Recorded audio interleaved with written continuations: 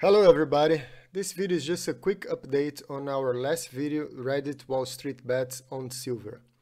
So many things have happened on the last 24 hours that I feel an obligation to update you guys accordingly. If you have not watched the first video, you should watch to better understand why the price of silver is about to explode. The video only takes 5 minutes and the link is right now on top of your screen. First thing, I would like to thank you all for the comments received, as a lot of the new information comes from interacting with your feedback. To make a long story short, uh, the silver market is not that big. Consequently, I don't think that the physical silver market will be able to handle the massive inflow of investment that is coming in our direction. Online retails, retailers like APMEX are now sold out on silver. It happened over the weekend. You can still find some silver coins and bars on JM Bullion or SD Bullion, but over the weekend, many silver products are gone. I'm considering the fact that very soon we'll have uh, another shortage of physical silver, just like happened uh, last spring. With that in mind, if you can get physical silver, perfect. At the end of the day, we are all silver stackers. Well, at least I am. It's also a very good time for those who already have a little bit of silver, but as I mentioned, I don't think the physical market will be able to handle it.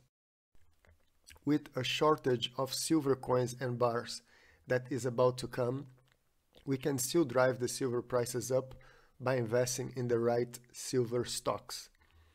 I have mentioned on the last video about SLV shares, but let me tell you something. JP Morgan is the custodian of SLV physical silver. Unfortunately, by the time I was recording the last video, I was unaware of this fact. Consequently, buying SLV shares could be feeding the enemy, and JP Morgan is really the enemy right now. Many of you also know that JP Morgan was fined in $1 billion for manipulating the metals market. Uh, JP Morgan has done that for over a decade and probably made 10 billion with that. So just paying 1 billion or 10% in fine is still a pretty good deal. Other investment that I have mentioned uh, on the last video was First Majestic Silver Mines. When the price of metals goes up, the mines should go up twice as more. But be very careful here because it also goes down twice as more if the metal prices falls. Again, I do not recommend anybody to go uh, crazy, do anything crazy like getting a loan to invest. I'm not a financial advisor, but I know the best investment that you can make is having no debts. Nowadays, we have technology and we can discuss investment strategy in social media groups. But we don't, we don't know what banksters are discussing on the other side.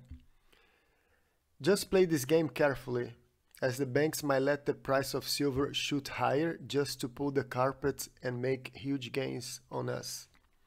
Nevertheless, I do believe that this is our moment to make a reverse wealth transfer and move the money from the banks into our pockets.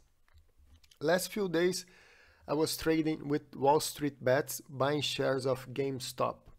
I had some gains, nothing spectacular, but I learned a little how to play this market. The silver market will be very volatile with few strong pullbacks. The pullbacks normally will happen when the banks sell their shares.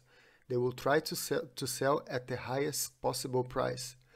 But when the banks uh, sell the shares, the price will go down. And this is the right time for us to invest and kick the prices back up. If the prices stay down, the banks will buy the shares again and pocket the difference.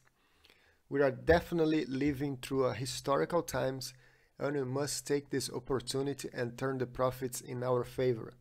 Again, don't do anything crazy, protect your wealth and stay safe. Take care.